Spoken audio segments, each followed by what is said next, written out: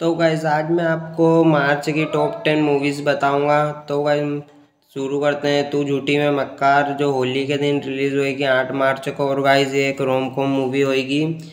तो गाइज़ इसके लिए तो मैं एक्साइटेड हूँ।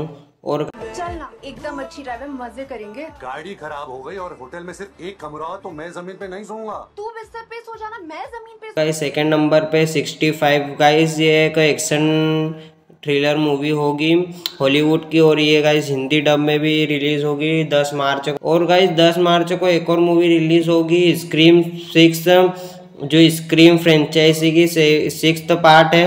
पंद्रह मार्च को सजाम टू रिलीज़ होगी।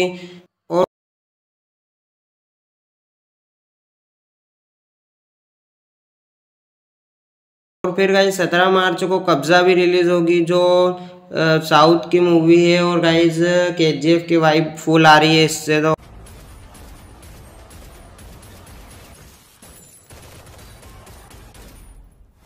और गाइज़ फिर कपिल शर्मा की मूवी भी सत्रह मार्च को रिलीज़ होगी जुगाटो जिसका ट्रेलर अभी आया है।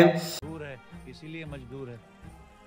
ड्यूटी आपके आने के बाद ही तो है। मतलब हम आएँगे और तुम जाओगे। और फिर गाइस सत्रह मार्च को एक और मूवी रिलीज़ होगी, मिस्टर चैटर्जी वर्सेस नॉर्वे। और गाइस इसका ट्रेलर बहुत ही अच्छा लग रहा है।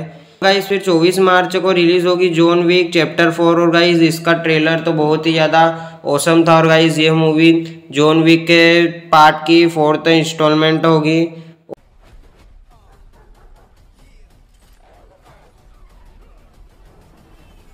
और गाइस फिर 30 मार्च को रिलीज़ होगी दशहरा, जो पुष्पा की वाइफ दे रहा है। और गाइस देखते हैं कैसी क्या मूवी रहेगी ये।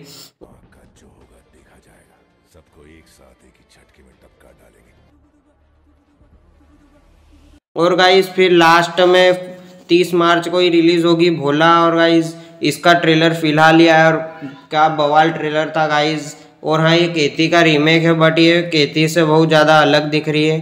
तो गाइज़ यह सब थी मार्च की अपकमिंग मूवीज़ और गाइज़ अगर आपको वीडियो अच्छे लगे तो वीडियो को लाइक करिएगा आगे और इसी वीडियो देखने के लिए। एक बार जब उसने रण को तिलक लगा दिया भूल जाता है उसके